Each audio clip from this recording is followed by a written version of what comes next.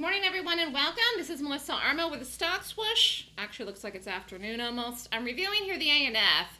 This looked like a like a good long here late. Saw this late. Don't normally go long something like this, but it's holding very strong against the market and just want a quick little scalpy thing, uh, which I think I'm going to get in this. One more push through the high here, and I'm just going to get out of this quick. Uh, so let's take a look at it. It really actually set up way back in here. 1106, you could have done it. And then it reset up again in here. You could have done it again. Same number, holding strong, market falling, broke the low. Stop in this is tight, okay, considering where it's at right now, 1070, but it looks great. In fact, we could even lift this up to 1075, but I don't think it's going to make a big deal. So here's the market, and here's ANF. So this looks good.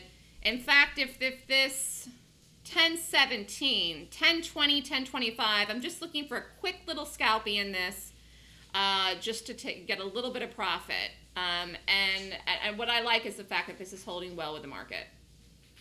I'm almost inclined to almost put the stop break even if this doesn't get over the high here by noon.